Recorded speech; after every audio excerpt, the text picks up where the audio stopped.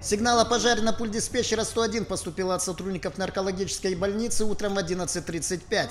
Врачи сообщили, что загорелось двухэтажное здание, которое делили наркологическое отделение архив психоневрологического диспансера. К прибытию первых пожарных автомашин огнем была охвачена крыша и пламя грозило перекинуться на помещение. Площадь пожара составила 150 квадратных метров. На месте происшествия были эвакуированы на безопасное расстояние 20 человек.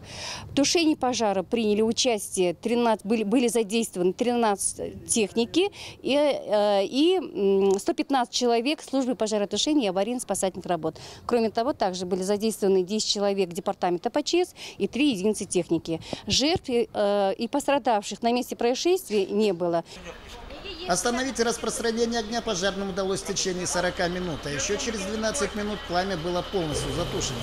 Благоприятному исходу происшествия, помимо оперативности пожарных, способствовала и подготовка местного персонала к подобным происшествиям. Несколько месяцев назад здесь проводились пожарно-тактические учения, в ходе которых борцы с огнем обучали местный персонал действиям в подобных ситуациях. В порядке, как показала последняя отработка, здесь было и противопожарное оборудование. Имеется 4 гидранта, Здания все оснащены противопожарной системой, грохот. Проводятся ежегодные учения как и пожарной, так и по технике безопасности проводятся лекции, учения.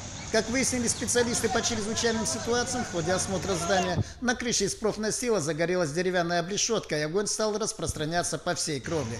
Под крышей находились архивные бумаги психоневрологического диспансера. Но, по словам сотрудников ПЧС, они не пострадали. Пожар удалось вовремя потушить.